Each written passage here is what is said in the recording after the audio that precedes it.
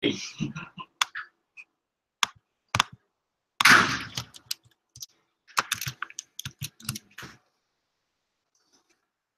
5 минут прервемся, пока мы все.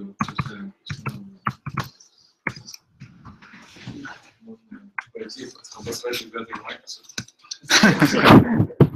Комментов написать.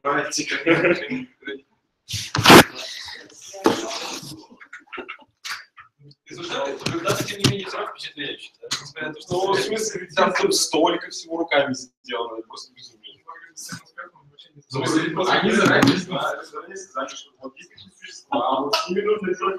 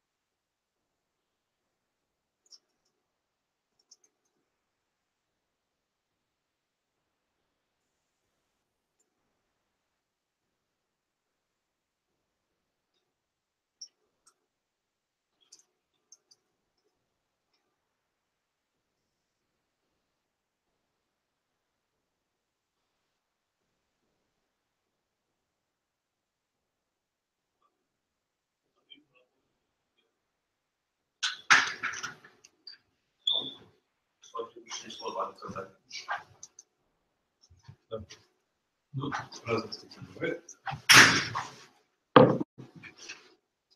Меня еще прикалывает этот scientific вклад, короче, работы. Ну, мы прошли Бакмана. Нам. Нет, вот реально написание этой статьи, ведь за него кучу времени, куча людей. Там шесть авторов э, у статьи, да? Э, сколько они ее писали? Ну, наверное, больше, чем месяц, может быть, даже несколько. Э, сколько они денег потратили на вычислительные ресурсы? Сколько денег зарплаты они проели за время research а? Как написал, короче, в review в комментариях. А в итоге, а в итоге-то что? В итоге нашли какую-то игру, блин. Ну, на самом деле, в итоге-то да, конечно. И, честно говоря, не знаю, с научной точки зрения, мне кажется, достижение несколько сомнительным. Конечно. Ну, разве я чуть не увидел каких-то существенно новых глобальных Ну, э, глубоких идей, которые помогли нам StarCraft, например, выиграть точно так же. Они много чего просто взяли и нахватали из разных статей. То есть, допустим, exploration в функции типа, вещь известна с 12, с 14 12 года. Потом этот э, корень четвертой степени – это аллюзия на, на UCD, тоже не, не какие-то новые вещи. А разделение, разделение функции на части – это быстротники, тоже известная вещь. То есть, как бы, они просто все это хорошо здорово задизайнили, и у них все получилось. Ну, в общем, даже я напишу. Это просто шаблон такой. э, Эта страница не вырубается.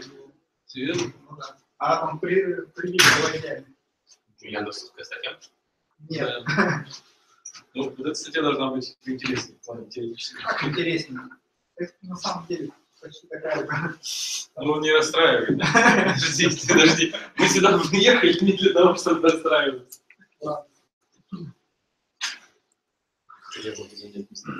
Свет нам нужен. Наверное, лучше со светом, потому что сильно шумит камера на трансляции. Можно, знаешь, как сказать, попробовать бороться вот этим. Так лучше. Оно это, да? А, у нас Ну, не подоткнуто.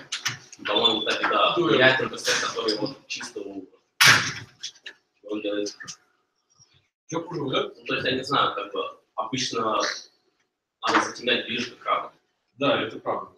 Ну, Иначе ну, для трансляции ребята. Надо им включить, да? Да, есть. Вот это правда.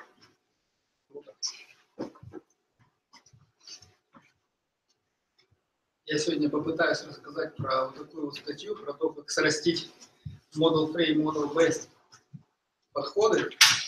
Но на самом деле не все так радужно и весело. На самом деле мы не будем сращивать любой Model Based подход или не любой Model Free подход. Здесь тоже все очень-очень сильно специфично. Вот. И я очень сильно надеюсь на поддержку аудитории, потому что там реально матана просто выше крыши, в котором я мало что понимаю. Я просто, можно сказать, вам кусочки статьи сейчас просто покажу, которые мне понравились, которые, я думаю, помогут вам что-то понять. Human level article summarization. Есть главная проблема в том, что эта статья про шивки двух методов, которые я абсолютно не знаю и не понимаю. То есть как шить я примерно понимаю. Ну, то есть, а в чем основа? Да, я хочу для начала показать видео.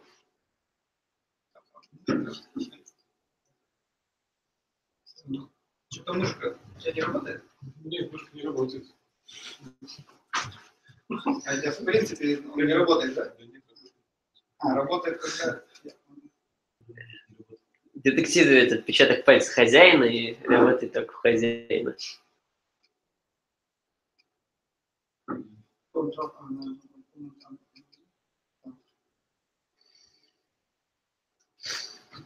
Чтобы примерно представлять, что вообще может вот это вот все.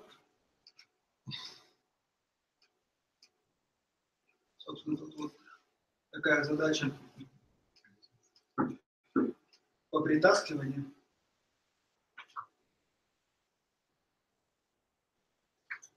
Ты расскажи, что происходит. А, ну, белые, да, вот вторая задача. Открывание двери в 3D. Ну, вот это довольно сложно. Подожди, а... Ну, тут я чуть не понимаю, что происходит. Вот э, можно паузу поставить? В самом начале, когда был пример с захватом коробки манипулятором, вот, вот этой штукой, э, тут было нечестно. Ручки, боковые ручки э, вот этого вот держателя могли проходить сквозь коробку, и тебе достаточно было, ну вот как-то так э, ударить коробку, а не так, что э, аккуратно подвести руку Ну, там. не то, что они не всегда. Ну, То есть, видимо, оно в 3D еще маленько, на плоскости. Поэтому он, когда наклоняется в 3D, он может как бы переходить. Но если оно полностью лежит, то нет. Ну, то есть, И вот такое. э, с дверями тоже непонятно, он может просто взять и своим крюком через ручку ударить или Нет. Нет. Не может. Здесь, в общем, э, с, с вот этой дверью фишка в том, что тут э, сложно, тут надо сначала туда крюк засунуть, потом открыть. Ну в да. общем, м, все остальные методы типа зафейлились, а их не сработали. Ну, Это просто, чтобы примерно представлять, о чем речь, какие задачи вообще решаются. То есть, вот есть задача с открыванием двери. И что самое интересное, это вот задача с рядом роботом, втыкание, втыкание, вилки в розетку. Оно пытается опять. В итоге, да, вот оно втыкает. О, неплохо. 250 центов. Да. А что, что под центром? 250 раз оно попыталось, и типа за эти 250 раз оно научилось полностью это делать. Хорошо. А Ну, если это дальше я расскажу. Нет, А если сдвинуть, короче, видите.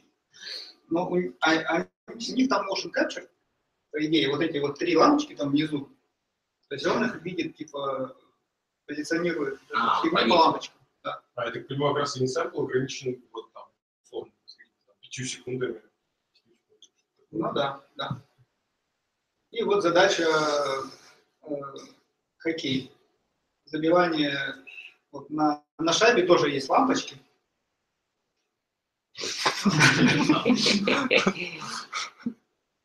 И нужно было сначала робота, который кладет шайбу на место.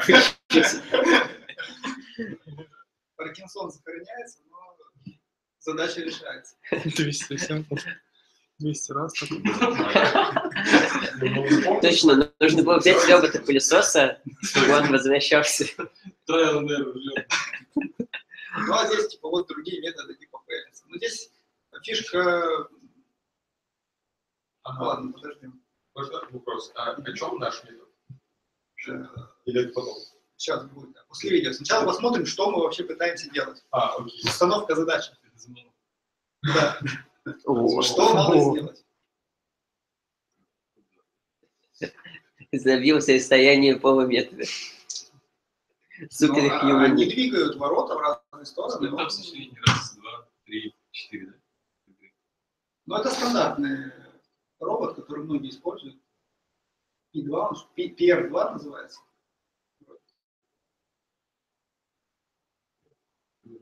Да, он может забивать, когда эти ворота переезжают в другое место. Опять же, они переезжают, Но они на фиксированном отдалении от шайбы. да, И шайба всегда на одном и том же месте. да.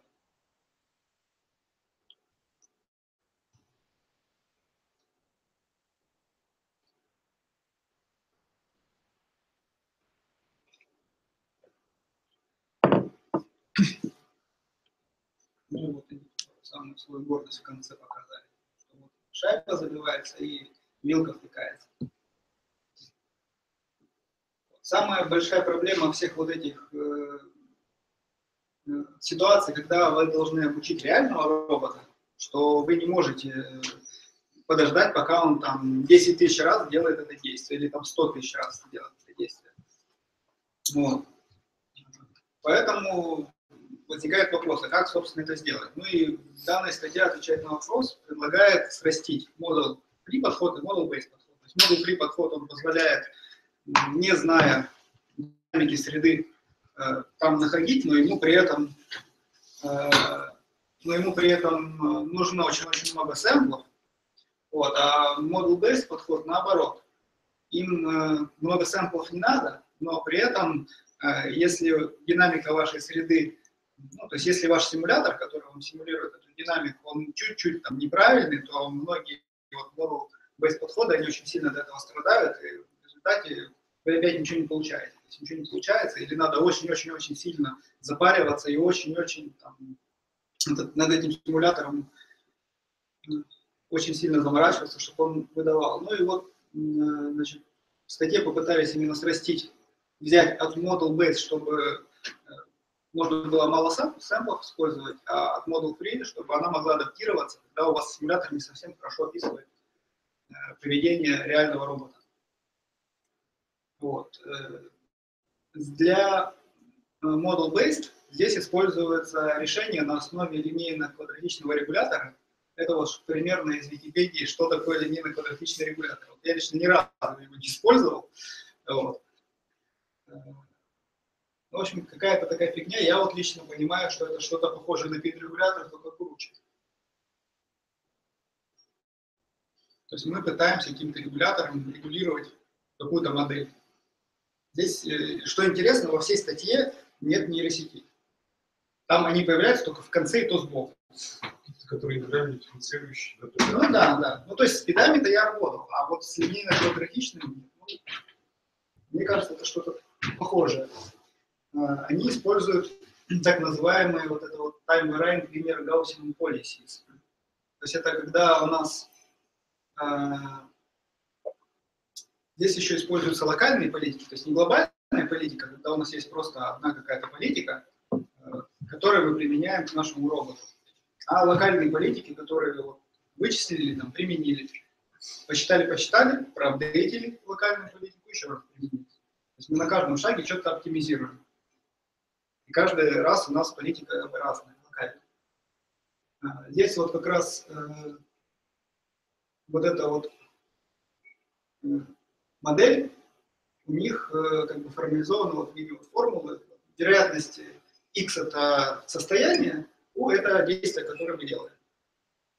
Получается вероятность перейти в состояние t, xt плюс 1, состояние xt выполнить действие ut, она вот э, как бы сэмплируется из нормального распределения по вот, этой, вот такой вот формуле. Я не знаю, как вот, ну то есть, что вот интересно, в статье ни слова не сказано, как они конкретно вот этот весь формализм математический, которого там очень много, применили конкретно к этому роботу. То есть, чему там что соответствует, непонятно. Они ведут рассуждения в статье, как будто можно просто любую систему так сделать. Они ведут просто на каком-то очень-очень очень высоком уровне, что у нас есть такой вот типа процесс, и он типа похож на, как раз если на предыдущий слайд посмотреть, вот там вверху x точка равно x плюс bu, как раз типа, видимо, похож на то, что можно линейно-квадратичным регулятором порегулировать. Э, Дальше они ссылаются на предыдущую работу, где они просто учились линейно-квадратичным регулятором регулировать. Почему квадратичный? Не гауссовский. Он гауссовский, еще квадратичный. Почему квадратичный? Это линейный гауссовский регулятор. У тебя вот в материале Это- нормального распределения записано линейная функция. Линейный Да. иксам, линейный по Да. Индекс означает, что А почему тогда вот здесь x точка, и вот там тоже вот это вот самое написано, там тоже нет никаких квадратов, и эта фигня называется квадратичный. там Нет, тут понятно. форма, квадратичная, квадратичная, квадратичный у нас пост. Да, тут тоже кост квадратичный. Дальше. Смотри, потому что раз квадратичный на самом деле, потому что у тебя производная линейна по x.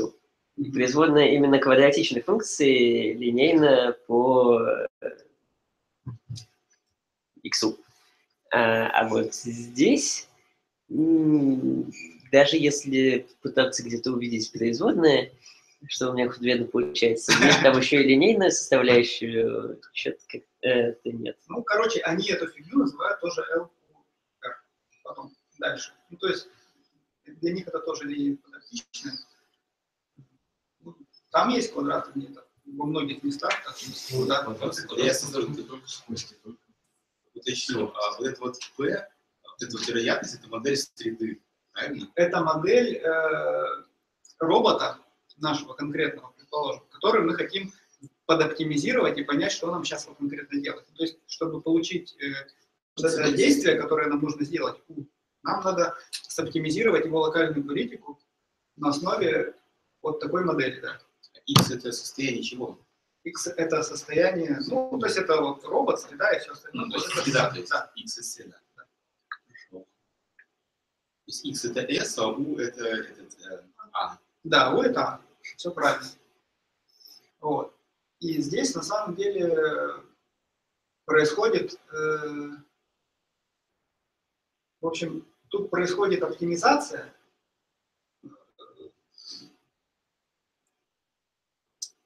э, вероятности, ну, то есть вероятности совершить какие-то определенные действия в определенном состоянии. Ну, то есть вероятности, короче, есть на самом деле. Вот. И зачем тут нужно нормальное распределение? Для того, чтобы как раз э, победить то, что у нас симулятор не похож на реальность, потому что как бы, робот, он как бы, в симуляторе он всегда одинаково рукой двигается, а в реальности она у него маленько по-разному каждый раз двигается. За, это, за этим ну, нужен типа вот, они у них гаусс, ну, гауссовские, поэтому. Но это тогда работает только для тех моделей, где у тебя состояние непрерывное, вот как, да, вот там состояние, по Да. сути, описывается вот этими поворотами Да, э, его. И там действительно гауссовский шум худо-бедно, наверное, имеет смысл из каких-то физических соображений, неточности измерений и тому подобного. Да, да, да. А если у тебя дискретные какие-то сущности, то... э, Да, Это именно так. Это очень справедливое замечание. Вот. И еще здесь используется в оптимизации всеми горячо любимая дивергенция для того, чтобы... э, Ну, здесь процесс какой? То есть мы пытаемся оптимизировать конкретно наши конкретные действия локально, вот, и потом на основе на оптимизированных на прошлом слайде локальных действий мы с помощью дивергенции стараемся их сделать так, чтобы они Не сильно отличались от предыдущего. Ну да, ну то есть э, еще дополнительно накладывается вот эта дивергенция для того, чтобы, в общем, система лучше работала, так скажем. А как связано не слишком большое изменение дивергенции, получается, моделирования среды с тем, что это моделирование достаточно хорошее, достаточно корректное, просто там фраза в самом конце. То есть, почему то, что мы заставляем ее мало Но меняться, если она, значит, если совсем, ну, типа, плохая, то это не спасет. Ну, то есть это вообще, я не очень понимаю, как эти вещи связаны. То, что мы заставляем ее мало меняться, и то, что она похожа на настоящую, ну, настоящую среду. Ну, это типа похоже на, на типа разложение в точке. Ну, то есть, если у нас чуть-чуть э, наш э, симулятор, он слегка плохой такой, он, то есть, если мы просто какую-то модель там, с потолка берем, она совсем не вписывает среду, и там вообще ничего не поможет. А здесь, типа, она, ну, наш э, симулятор, он, типа, чуть-чуть плохонький такой, но он близок в этом смысле. Я так понимаю. Ну, я бы на это смотрел просто как на маленький верный, на маленький верный шаг. Давай запрещать тебе сделать большой шаг непонятно куда, где твоя новая политика. Да, как я говорю, как- То есть, я так понимаю, здесь вопрос не политики, а скорее о описании внутренности модели. Ну, это, это, это политика. Да, по- это, это политика, э, локальная политика на конкретном этом шаге. Вот сейчас политика, которая мы сейчас действуем. Здесь нет глобальной политики. И это, это даже не нейросеть, это просто какая-то фигня, короче, числа просто. То, что у нас наша оптимизационная задача на выполнить. Здесь это просто пока теоретические рассуждения. Что-то они начались очень, очень бодро, не успели понять, где, где ПИТ, как она инициализируется, вообще как это все начинается. Но Это, в общем, для этого надо хорошо понимать, как работают вот эти самые линейно-квадратичные регуляторы в роботах. Я тоже пытался понять, но это просто капец, там большой пласт.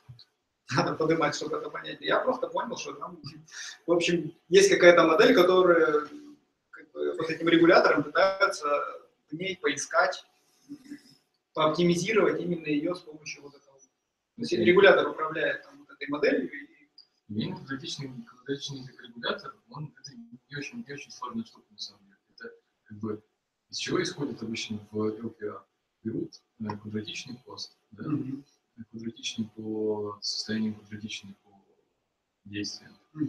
А, расписывают этот пост по временным шагам от начала времени, от начала его эпизода и до самого-самого конца. Дальше всю вот эту вот длинную-длинную-длинную цепочку начинает оптимизировать с конца, начинает выражать а, действия через состояние и потихонечку избавляются от э, неизвестных переменных от действий, так как доходит до самого конца, до самого начала.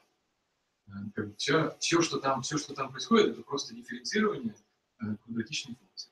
В LPR не происходит больше ничего, там нет никакой магии. Когда говорится про э, э, линейный квадратичный гауссовский регулятор, добавляется нормальное распределение, но в силу того, что нормальное распределение симметрично относительно своего среднего, а, математика не меняется совсем. То есть там то же самое дифференцирование, не происходит ничего. Откуда, какая логика здесь при дивергенции, почему нельзя а, поняться очень сильно от предыдущей версии своей политики, я вот, честно говоря, не очень понимаю. Там еще что-то есть на следующем или на предыдущем? Это они типа из предыдущих работ пояснили, что вот типа так надо делать. Это следует там.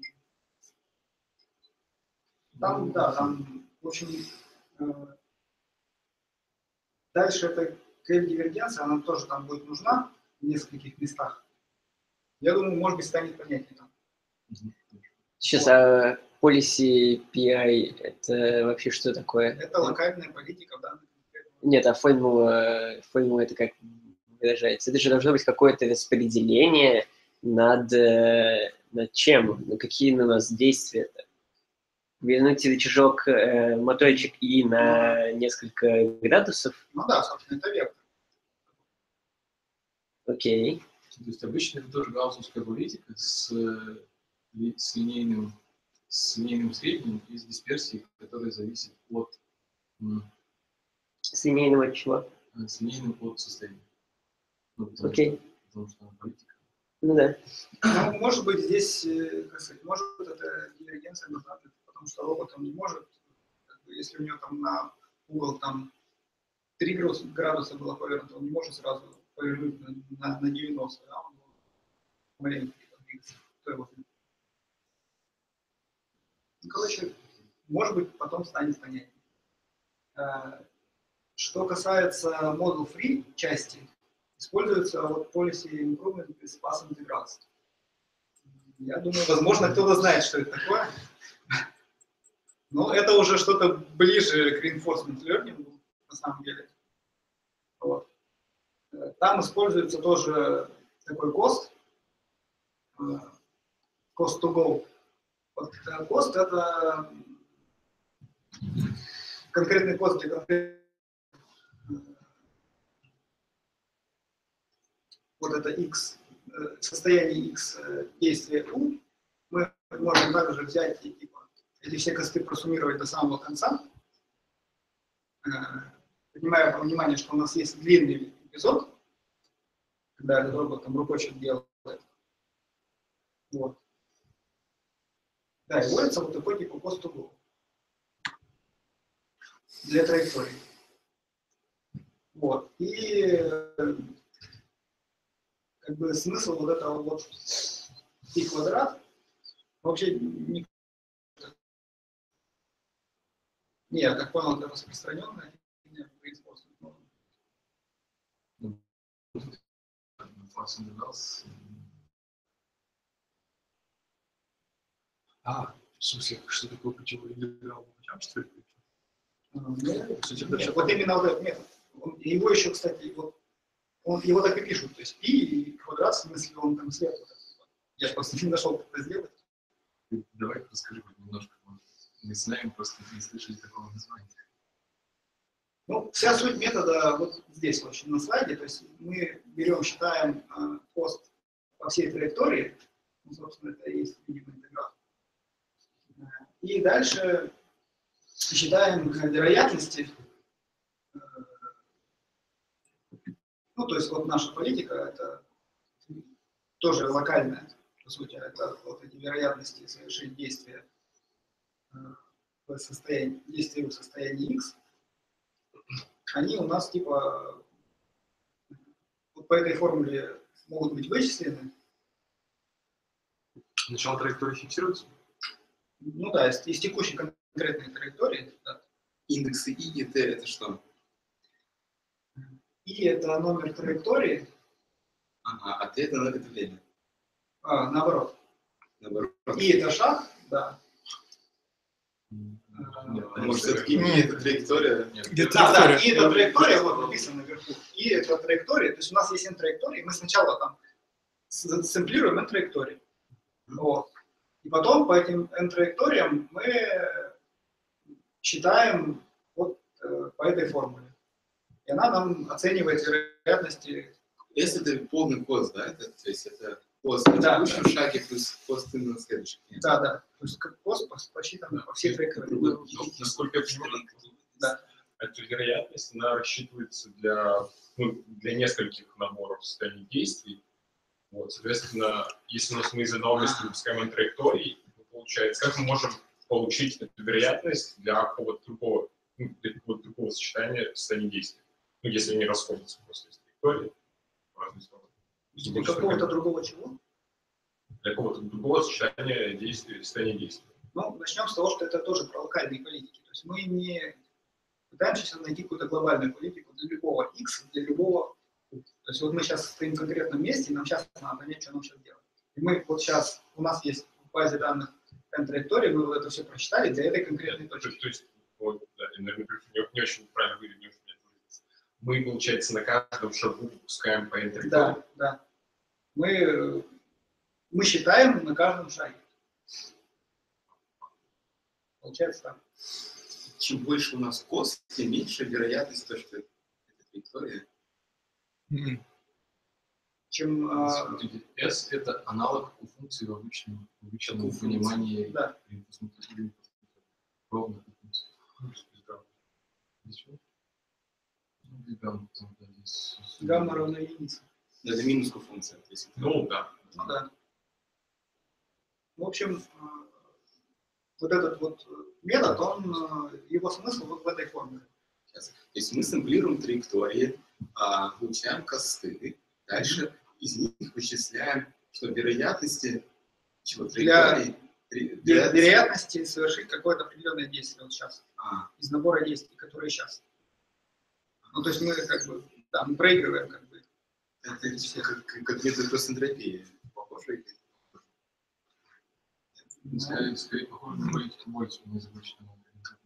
Это совершает действие с, с большей, с большей вероятностью тогда, когда это действие имеет большую функцию. Пропорциональную функцию. А не надо ли в знаменателе еще и по x и t интегрировать? Что задача распределения в единиц не нормируется? Ну, Возможно, надо. Почему не надо? Тоже написано слева знак равно, должно быть, наверное, написано p от u плюс p иксов. Ну, видимо, да. Да. Да. Ну, вероятно, да. Это, я, это просто пустить статьи. Я сюда ничего не написал. Я, я, честно, не понял, почему надо быть самым Ну, потому что иначе, если ты проинтегрируешь правую часть, получишь единицу, а если ты проинтегрируешь левую часть, пою. Покажи, где есть определение. Там пою, да. по u, да, ты получишь только от x на единицу. Нет, смотри, слева у тебя p от u плюс p икса, Нет, если написать по от u плюс x, то тогда нормально, я согласен. Ну да, так должно быть по ответу. но это имелся в виду. Просто такая запись. Ну да. Вот. И теперь дальше теорема о том, как срастить э, вот эти две штуки. Ну, то есть на самом деле, что вот эта оптимизация с помощью линейно-квадратичного регулятора, она же тоже дает нам локальные политики. И предыдущий метод, этот пи квадрат, он тоже дает нам локальные политики. Вот. И это позволяет, именно вот это факт позволяет их срастить, потому что они как бы близки по своей сути. Вот. Ну и здесь э, типа, Что, что позволяет срастить их? Их срастить, потому что они близки по своей сути, по своей конструкции. Эм, Ну, они обе используют локальную политику, не используют глобальную политику. Ну, то есть не какой-то, не тренируют сетку, которая что-то делает в любом состоянии.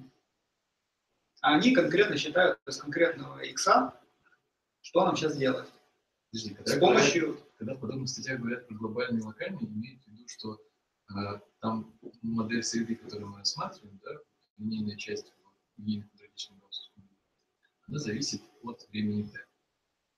Когда это, подразумевает, когда пишут индекс t, говорят, что э, рассматривать локальную задачу, не глобальную. Э, почему ты говоришь здесь, что мы именно какую-то локальную политику учим? То есть локальная политика это что-то другое. Ну, я, я не знаю, может, я неправильно понял, но я вообще вот ре- реально Давай еще далек от этой интуицию можешь еще раз дать? Чего с чем срастить и почему они друг другу близки? Вот это вот, Вот вот этот э, линейно-гауссовский ребята. регулятор мы хотим срастить. Это, это model-based подход. Не, мы сейчас ничего не, политику мы не параметризуем. Здесь, мы вообще ничего не, параметризуем. Наверху это э, э, модель динамики. Модель А? P с верхним индексом И. А это просто вероятность. Да. Ну и, и вот это. Вот мы, мы вот это вот пытаемся, вот этот model-based, вот этот вот метод, при, как бы, поедет к вот этому методу. Не надо припаять. Вот так это и делается. Именно вот пытаются именно срастить одно с другим. Вот. Собственно, в чем идея? Что, э, э, ну, что вот, вот, этот, вот этот метод, он э, как работает? То есть ты типа посчитал вот эти значения, которые обуславливают твое поведение, то есть посчитал значения для каждой конкретной, конкретного действия. На следующем шаге ты считаешь к ним апдейт. Ну и здесь э, теорема о том, что вот этот апдейт от пи квадрата, он соответствует э, э, вот этой самой формуле scale дивергенции. То есть он соответствует оптимизации э, вот этой вот линейной Гаусса с, с таким вот этим вот регулятором. И поэтому, ну, то есть э, этот как бы, это два разных процента, которые типа оптимизируют одно и то же. Еще раз, по кому соответственно? Что такое?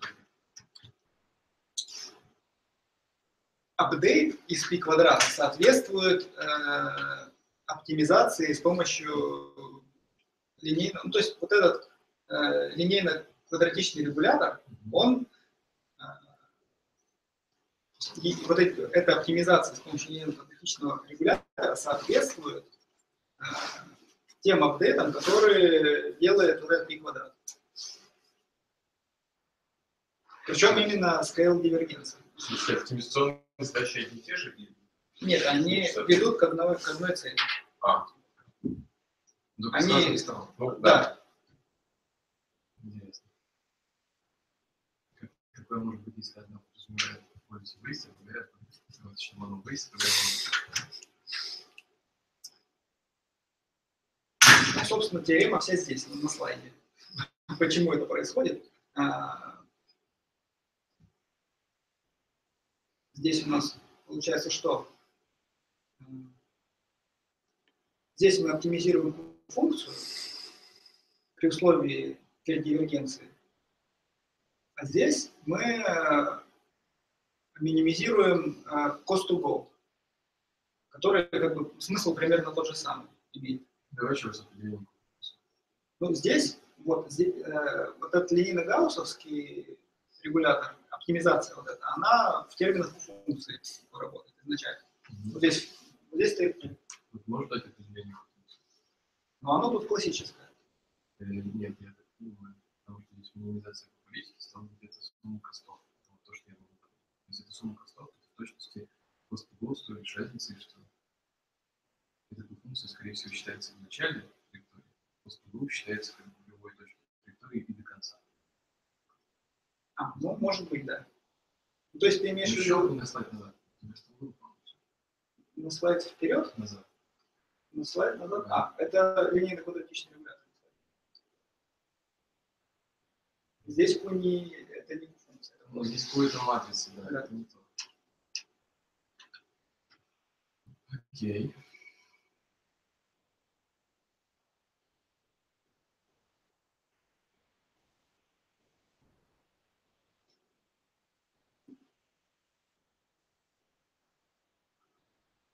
Ну, короче, здесь э, эту теорему сложно понять без э, математики, которая там дальше... Эту теорему даже сложно понять, просто потому что мы не можем отличить S от Q, по той причине, что мы не знаем определения Q. Давай так, с этого начнем. Можно? Ну да, наверное, да. Еще, еще на предыдущий слайд я вот показывал. Вот это? Вот это, да.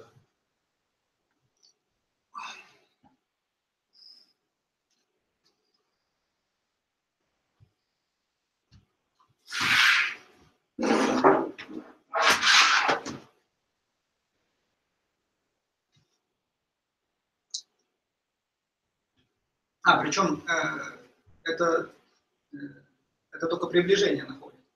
Все, оптимизирует приближение к функции.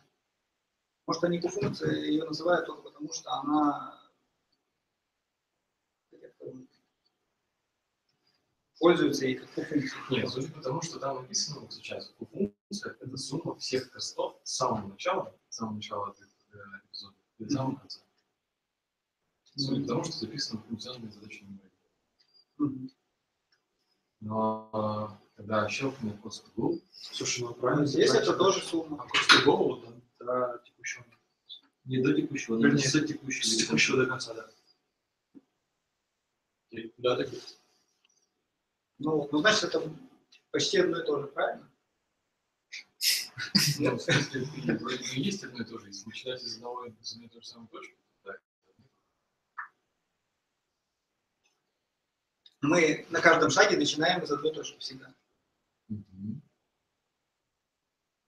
Вот. Поэтому они здесь ее, видимо, заменяют. Ну да, видимо, поэтому здесь просто ставит, ставится знак равенства между Q и S. Ну и дальше подставляется та формула, вот эта вот формула. И получается, что э, апдейт, вот, вот это вот, это наша политика на текущем шаге, это политика на предыдущем шаге.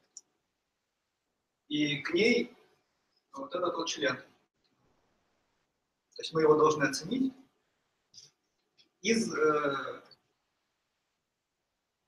ну, из просто вот этой формулы, которая следует как раз из вот этого метода. Ну, то есть, еще раз обратно. То есть, какая интуиция? Значит, следующая итерация, следующее поколение нашей политики по ИТ а, будет давать такую вероятность у, у Т, у с индексом Т, пропорциональную тому, что было раньше, Да. умноженную на вот некоторый фактор, который увеличивает или уменьшает то, что было раньше. А Да. увеличение или уменьшение того, что было раньше, это есть не что иное, как просто что это, ненормированная, да, ненормированная польза, ненормированная оценка полезности всей последующей траектории. Да? Да, и тут еще есть температура, это Т. Ну, Температура потом отдельно считается, э, то есть отдельно оптимизируется вот типа отсюда. Ну, конечно, интересно посмотреть на двойственную задачу, почему она не такая.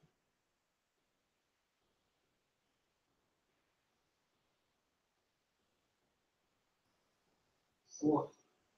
Э, И дальше получается, что мы можем вот это э, cost go S разложить на две части, на две составляющие. Первая составляющая с крышкой – это то, что это аппроксимация, а S волной – это добавка к этой аппроксимации. То есть разница между истинной и аппроксимированной частью. Вот эта с крышкой часть, это нам позволит, э, ее нам позволит оценить как раз метод model based, который вот этот линейный квадратический регулятор. А вот это с волной мы находим как раз из model free метода. И, собственно, это и позволяет как бы срастить два этих метода. То есть мы, получается, делаем сначала один апдейт, потом второй апдейт на нашу локальную политику. Считаем сначала апдейт э, из первого метода, и потом считаем апдейт со второго метода. И их просто по очереди вот так повторяем. Ну, дальше там будет конкретная схема, как это конкретно делается.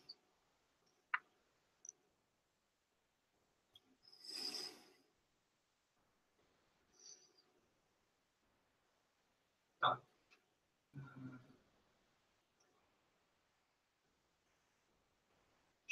Здесь.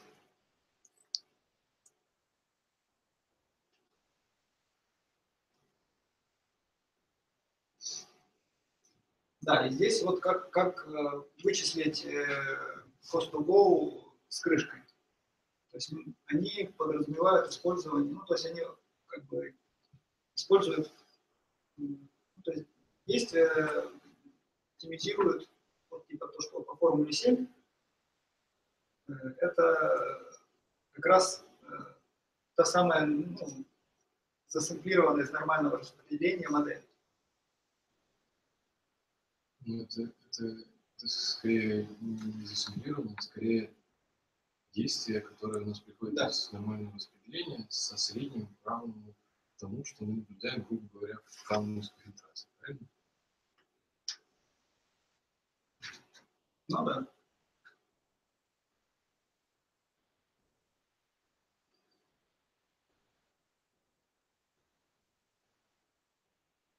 Ну и, собственно, вот это вот они используют. э, То есть это как раз параметры вот этой К большое, К малая и сигма, корреляционная матрица, которую они используют, э, я так понял, для оптимизации. То есть оптимизируют эти параметры.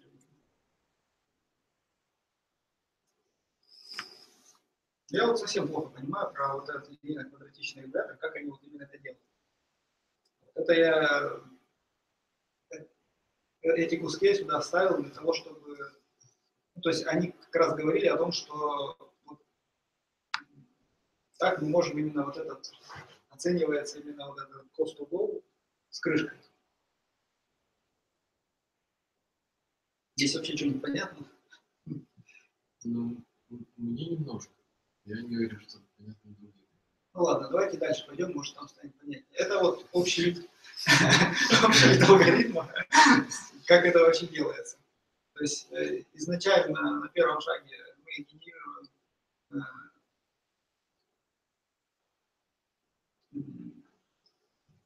генерируем траектории, запуская наш вот этот вот линейный гауссовский, гауссовскую. Дальше мы считаем э,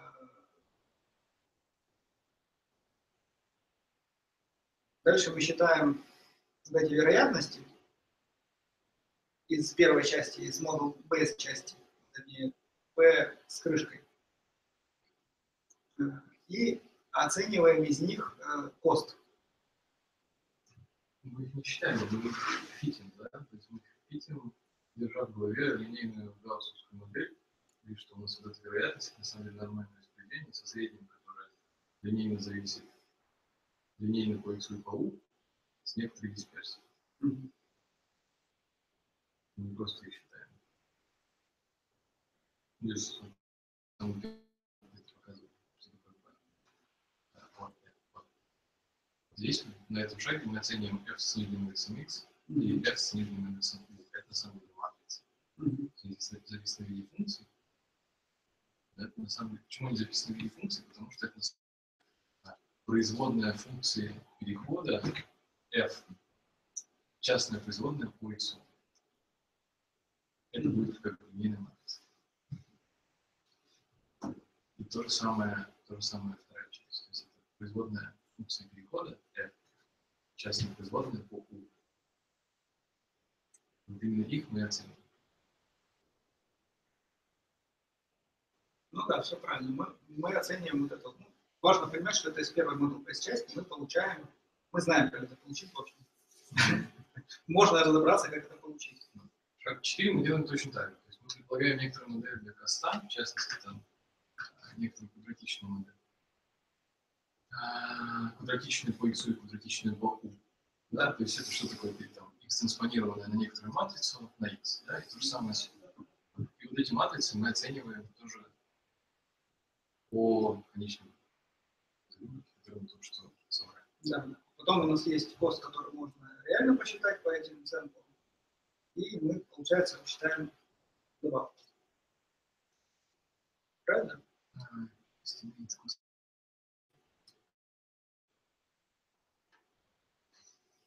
А, Сейчас я не очень понимаю, что такое с крышкой, что такое. Сейчас с крышкой это Обычно в таких задачах считается, что пост нам дан. То есть ну, мы знаем, что вот он точно, точно допустим, как минимум. Если он не дан вообще функционально, если, то, э, ну, вот у нас есть кост, который мы можем посчитать реально. Он состоит как бы из двух частей. значит, пост, который мы можем посчитать реально. Ну, вот это CXT от UT, я так помню так. Ну, что значит посчитать? Я понимаю, да, что значит посчитать реально? Ну, у нас есть кост-функция. Здесь, кстати, кост-функция какая? Здесь э, это расстояние между, когда он там, ему нужно шайбу толкнуть, это вот расстояние от клюшки до шайбы и расстояние шайбы, и плюс расстояние шайбы до... То есть, Я грубо так говоря, понимаю, когда они траекторию запускают, они могут посчитать этот То есть по всей траектории. Так, я, я так понял, что, грубо говоря, C без волны и без шапки – это тот C, который они считают типа, в физическом мире, который Да. считают истиной. А Да. C с шапкой – это тот C, которое мы аппроксимируем, то есть Да. то, что мы предсказываем. То, что мы предсказываем на основе оцененных матриц. Э, Матриц для X и матриц для U. Да. А C с волной – это, грубо говоря, остаток между ними, который нам потом нужен будет для чего-то. Для того, чтобы вычислить э, как раз э, вот этот кост угол, S большое с волной. Это кост угол, который считается, который нужен в методе модул спlit, в этом пи квадрат. Окей.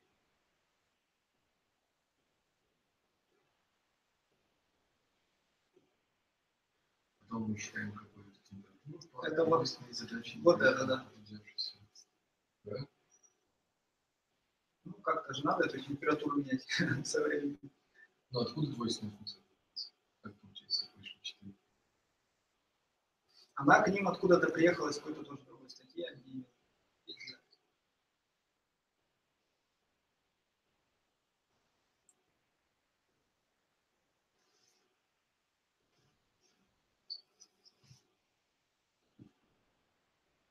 Ну, а дальше считаем то, что мы писали. Ну да, да, да. А дальше мы делаем апдейт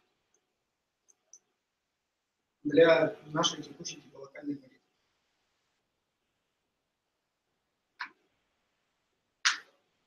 То есть вот это P с крышечкой сначала считаем, апдейтим, и второй апдейт это вот этот, вот этот вот ну, вот это вот, э, оценка экспонента.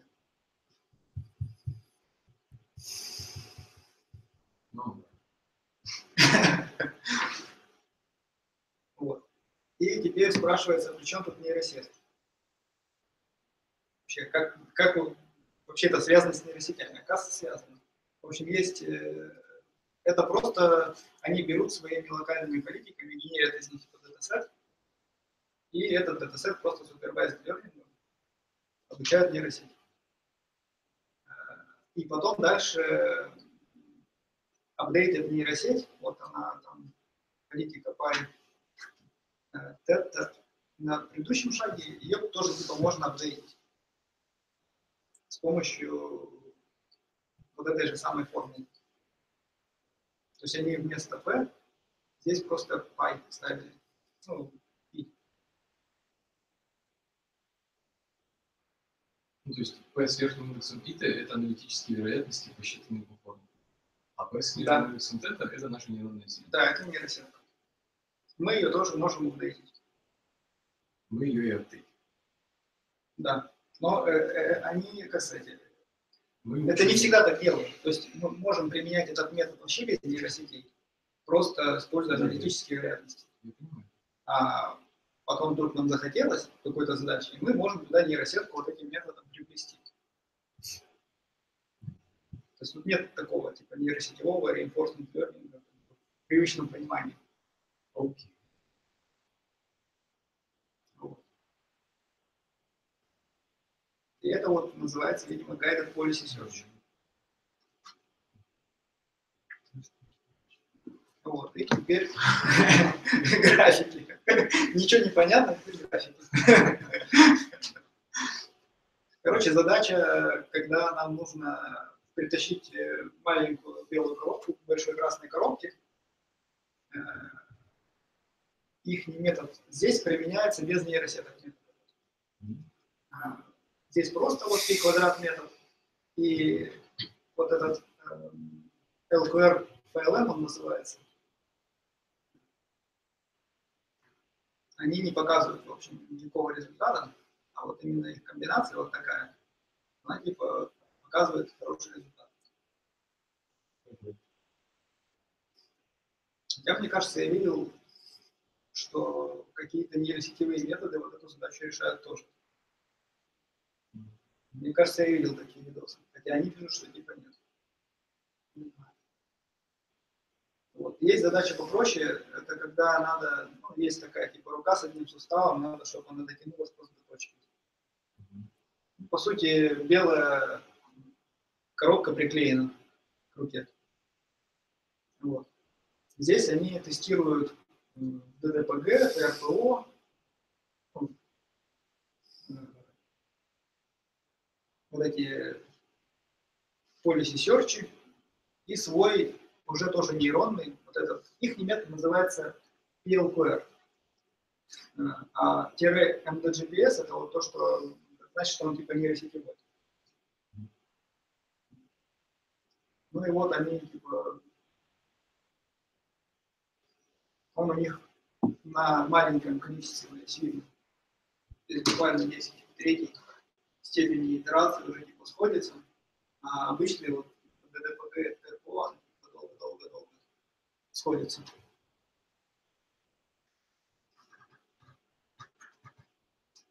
Вот, задача с открыванием двери.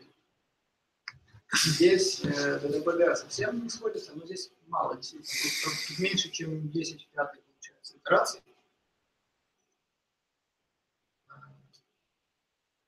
ТРПО там что-то маленько, но тоже не до конца, а вот их, ну, типа совсем классно сходится. Еле видно зеленая линия, она прям на 10 в третьей степени падает. Прям сильно. И они пишут, что типа единственный метод это наш, который реально открывает дверь. То есть есть методы, которые там просто могут там руку рядом с ручкой водить или там засовывать, но открыть не могут. А наш типа он именно открывает. Вот, задача с хоккеем.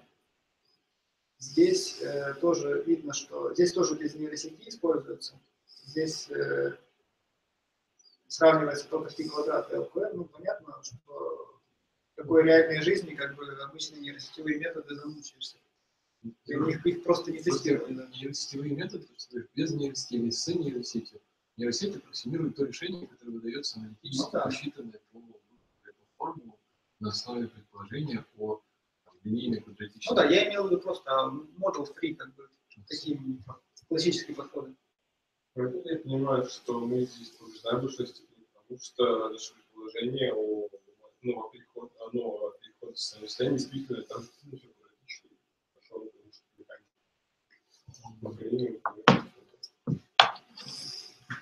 Да, ну то есть у них, э, у них есть модель изначально, то есть у них есть model-based есть модель, которая более-менее хорошо описывает их, их опыт. Единственная проблема у них это то, что их модель э, плохо, плохо работает в условиях шумов. То есть э, рука робота, она не всегда в одну и ту же точку попадает после каких-то их действий.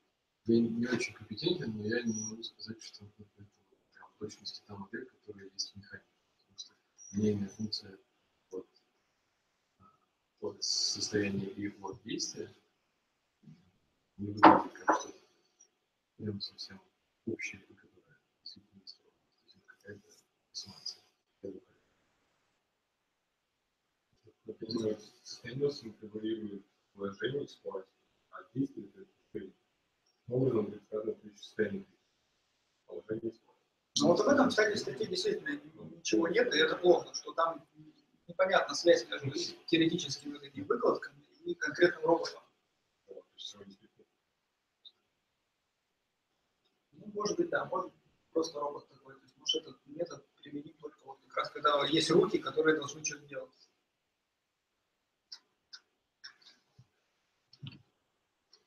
Давай дальше. график. Еще график.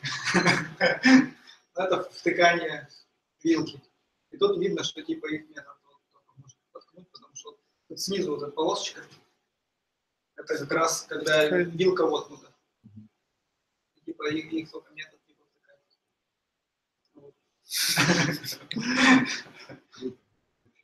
Докладчиком мы как раз вместе в сумме приблизительно поделили сложные лекции. Сложная у него наоборот простая.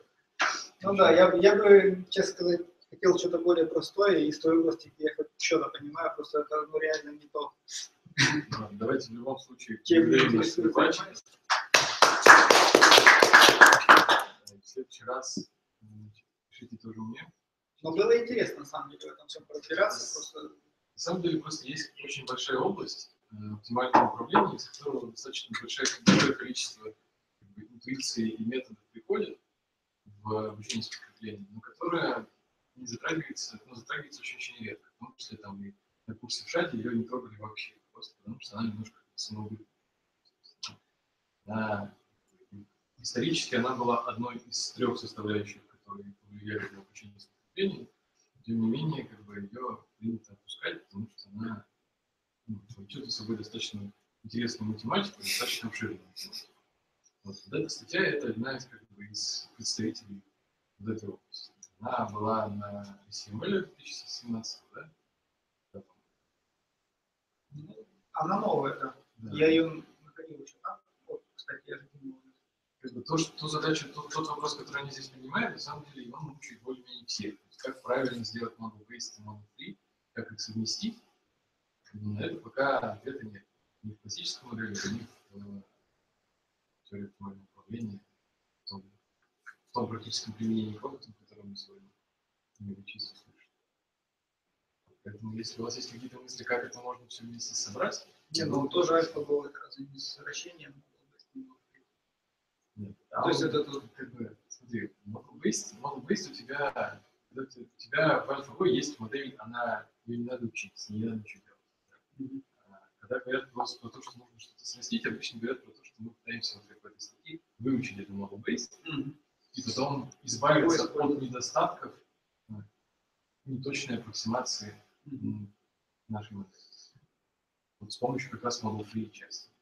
Что-то сейчас такое делают, в следующую неделю у нас будет доклад из э, DeepMind, из- не из DeepMind, а доклад статьи, которые в DeepMind написали про планирование. Там первый раз из всей литературы по RL как раз приняли интересную попытку о том, как это можно совместить в духе классического RL, без демократичных философских регуляторов и преподавателей. Ну, Вот, как-то так. Следующее, следующее, следующий четверг может- должен быть интересный. Да, я, кстати, думал, что сегодня это будет. Э, Должен быть сегодня, да, но вот как-то так. Ладно, прошу прощения, что плохо подготовился, но реально трудно было это понять. Да, верю, верю. На самом деле не просто. Спасибо всем, что пришли.